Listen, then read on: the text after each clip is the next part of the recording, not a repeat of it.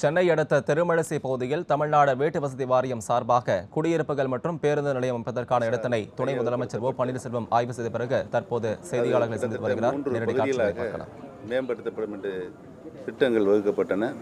அதில் முதல் கட்டமாக நூற்றி இருபத்தி ரெண்டு ஏக்கர் நிலம் மேம்படுத்தப்பட்டு ஒரு சூழல் இப்பொழுது ஏற்பட்டிருக்கிறது. அந்த நூற்றி இருபத்தி ரெண்டு ஏக்கர் நிலங்களில் கிட்டத்தட்ட ஒரு நாற்பது சதவீதம் முப்பத்தி மூணு புள்ளி மூணு ஏழு ஏக்கர் பொது பயன்பாட்டுக்காக சாலை வசதி மற்றும் இன்னபர ஒய்எஸ் ஒய்எஸ்ஆர் நிலமாக விடப்பட்டு இருக்கிறது மீதம் இருக்கின்ற எண்பத்தி எட்டு புள்ளி ஆறு மூணு ஏக்கர் நிலத்தில் உள்ளடக்கிய அந்த நிலத்தில் இருபது ஏக்கர் நிலம் பஸ் ஸ்டாண்ட் அமைப்பதற்காக ஒதுக்கப்பட்டிருக்கிறது. பனிரெண்டு ஏக்கர் நிலம் வணிக வளாகம் அமைக்கப்படுவதற்காகவும் மீதம் இருக்கின்ற ஐம்பத்தி ஆறு ஏக்கர் அடுக்குமாடி குடியிருப்புகளாக கட்டுவதற்கு திட்டமிடப்பட்டிருக்கிறது. அந்த அடுக்குமாடி குடியிருப்புகள் ஒன்பதாயிரத்தி அறநூறு குடியிருப்புகள் உள்ளடக்கியதாக இருக்கும்.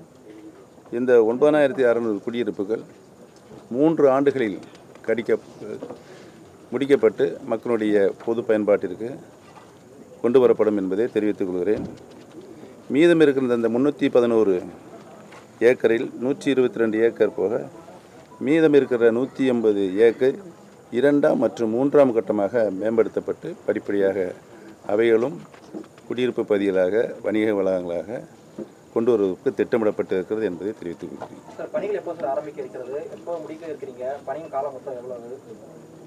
மூன்று ஆண்டுகளுக்குள் இந்த ஒன்பதாயிரத்தி அறநூறு குடியிருப்புகள் கட்டி முடிப்பதற்கு திட்டமிட்ட பிறகு அந்த ஒன்பதாயிரத்தி அறநூறு குடியிருப்புகளும் மூன்று கட்டமாக வருடத்திற்கு மூவாயிரத்தி இரநூறு குடியிருப்புகளாக கட்டுவதற்கு திட்டமிடப்பட்டிருக்கிறது. இது மையப்பகுதியில் மையப்பகுதியில். வேலூர் காஞ்சிபுரம் இந்த சைடில் வர பேருந்து அனைத்துமே இங்கே வந்து போகுது. வேலூர் கிருஷ்ணகிரி ஓசூர் பெங்களூர் வரைக்கும் செல்கின்ற பேருந்துகள் வழித்தடங்கள் போவதற்கு இந்த பஸ் ஸ்டாண்டுகள் பயன்படுத்தப்படும். விலை நிர்ணயம் எப்படி இருக்கும் சார்? இப்போ சாதாரண மக்களுக்கு அப்படின்னு சொல்லி குறிப்பிட்டிருக்கீங்க.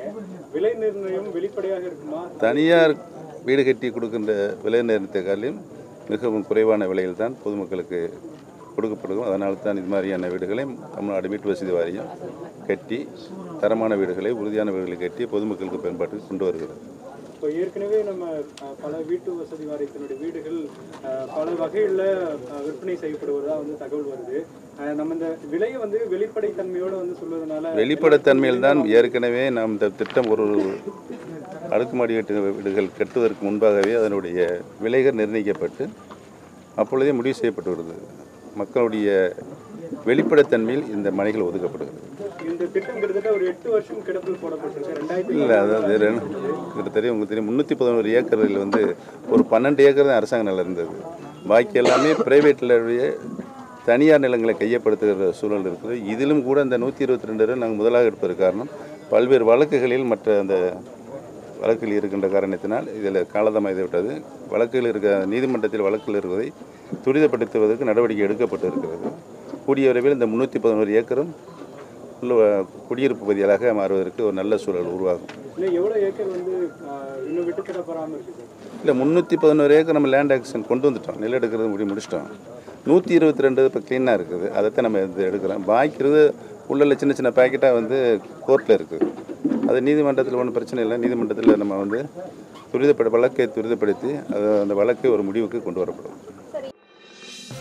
இது போன்ற முக்கிய வீடியோக்களை உடனுக்குடன் தெரிந்து கொள்ள நியூஸ் ஜே யூடியூப் சேனலை சப்ஸ்கிரைப் செய்யுங்கள்.